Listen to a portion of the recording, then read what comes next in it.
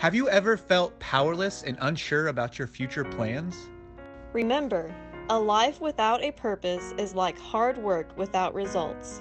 Get inspired in today's message by William Ngabo. Very great day to you all, my friends, my listeners. Thank you for taking your time to uh, actually listen to this message, which I believe actually is going to help you in one way or the other because I've been inspired by God this morning to come up with this message. I'm giving a title It All Starts With You. Life starts with you. You know, you make a big part of your life. But before we even go deeper into that, I just want us to go to the scriptures. Let's see what the Bible talks about that.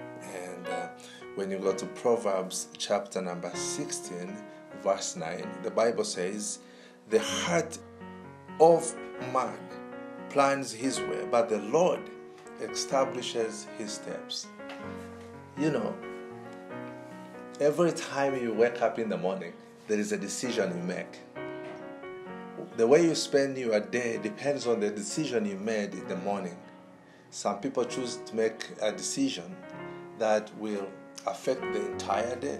But remember this a decision you make, it may be simple decision or very hard decisions, you know, all those decisions you make will affect your life, present, and even the future. Because there's no small decision and there's no big decision. All decisions are decisions, you know. So, what I want to say is this the what we feed our heart with, the information that we feed our heart with, makes us who we are. Because your heart will determine the decision you make. And so, life starts with you. Life is, you know, God will establish your steps, but the entire life will be started by you. You are the engine of your life. You are the, the spark plug of your life. Now, the decision you make is based on the information you have. Every time you make a decision to meet certain people, to watch football, to see people fight, to go to a nightclub, to go pubbing and dancing, and, and, and whatever decision you make every day will shape your life. And the reason why your life will become what you make it, it's because you are the managing director of your life. Your life depends on the decisions you make. Everywhere, everywhere you go, whatever you do, those are decisions that you choose to make. I'll give you an example. Two men may decide two different paths of life. One person may choose to go to church, another one may choose to go to a nightclub. Those are two decisions that two different people have taken. And the one who goes to, to church, there is a high possibility of him encountering God. But the one who goes to the nightclub, there is a high decision, there is a high possibility of this person meeting face to face with the devil. And so, the decision each man makes will make him who he is and will make him what he feels he should be. Now, God establishes our steps. God is not a dictator.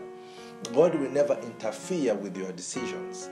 God fulfills the decisions you make. Every time you choose to do good things, God will back you up. But when you choose wrong decisions, God will be aside. In other words, you push God aside because you don't want Him to manage your steps. Decisions you make, good decisions, will activate God's purpose on your life because God will be in a journey with you called life. So, life starts with you. You may think that your life is determined by other people. Yes, of course, things around you, the environment around you may prompt you to do certain things, but the final decision maker is you. You are the managing director of your life. So it all starts with you. Those decisions you make every day, those ideas you have every morning, Those plans you have will determine your life today and your life to come. You are the managing director of your life, and life starts with you. Choose what to feed your heart with today. Choose who to surround yourself with because the people around you may cause you to be a good person or to be a bad person. The environment you put yourself into may prompt you to be corrupted by what is there or change your life forever. So, my brother, my sister, I want to encourage you this life starts with you. Life starts with you. You are the engine of your decisions. You are the future of your thoughts. You are who you are by your decisions. If you love this message and you feel you want to get many more messages, please subscribe. Your life will never be the same again. God bless you.